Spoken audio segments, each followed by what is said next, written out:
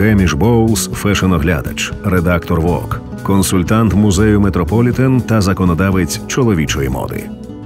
На світських заходах та вечірках на ньому завжди класичні костюми, сорочки та ідеально підібрані краватки.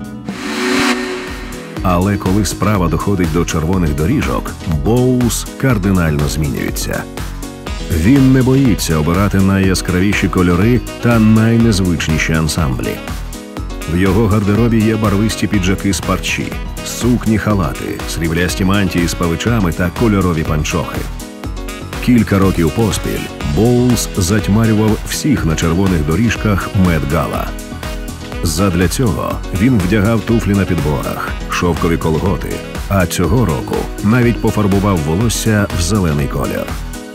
Щоб стати іконою моди, треба вміти поєднувати стиль та епатаж.